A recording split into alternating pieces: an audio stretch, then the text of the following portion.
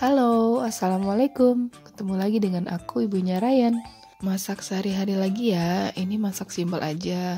Sayur bayam tahu sama ayam crispy sambal matah Nah ini sambil nunggu air rebusan untuk sayurnya mendidih Aku nyiapin ayam crispy-nya ya. Ini marinasi dulu Ada 180 gram ayam file. Aku garemin, merica, kaldu bubuk, sama lemon. Tunggu sebentar Terus yang ini nyiapin bumbu-bumbu buat sayurnya. Bawang merah besar, ya mungkin sekitar 3 siung bawang merah biasa ya, kunci yang digeprek, sama tahu. Plus nyuci bayamnya. Airnya udah mendidih, jadi masukin bawang, kunci sama tahu dulu ya teman-teman. Nah, tunggu beberapa saat sampai tahunya kira-kira matang. Kemudian aku mau bikin adonan basahnya langsung di ayamnya.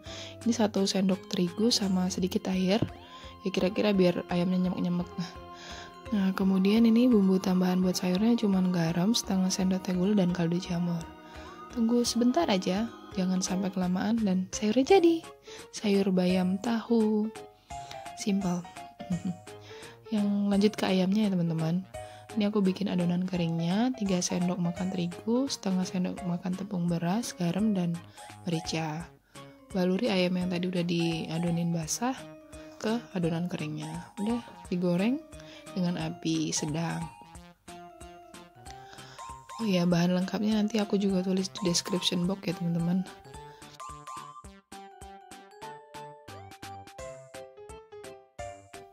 Sambil bolak-balik ayamnya ini aku siapin juga buat sambelnya. Pakai sereh yang udah dirajang. Aku belinya ini udah rajangan gitu ya teman-teman. Jadi enak tinggal pakai kalau sewaktu-waktu pingin bikin sambal mata daun jeruk dua lembar. Cabai sesuai selera ya kalau aku pakai cabai rawit ini. Cabai Thailand udah pedes banget. Sekitar 7 atau 8 satu buah bawang merah yang besar. Mungkin kalau di Indonesia sekitar 4 sampai 5 siung ya. Dua siung bawang putih semuanya dirajang halus. Kemudian daun jeruknya dibuang batangnya ya teman-teman. Ini sambil ngerajang halus gorengan ayamnya tinggal yang terakhir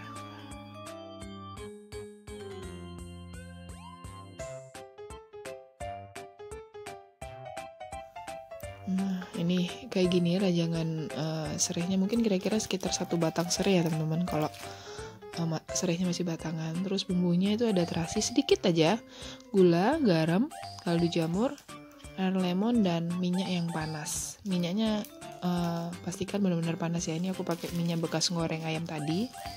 Kemudian diaduk rata. Udah deh jadi sambal matahnya. Taburin di atas ayamnya. Ayam crispy sambal matah jadi. Untuk uh, snack takjil hari ini aku mau goreng risol stok kemarin yang ada di kulkas dan tinggal goreng aja. Maaf nggak ada video bikin kulit atau isiannya.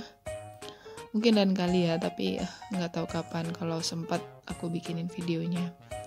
Tinggal goreng-goreng ya nyetok. Bikin bikin satu hari berapa banyak risol kemudian bisa buat dua atau tiga hari. Digoreng aja pakai telur Nah ini udah jadi semua. Terima kasih ya teman-teman. Moga-moga bisa bermanfaat, ada manfaat yang bisa diambil dan semoga bisa menjadi ide teman-teman untuk masa sehari-hari. Sampai ketemu lagi. Assalamualaikum. Bye bye.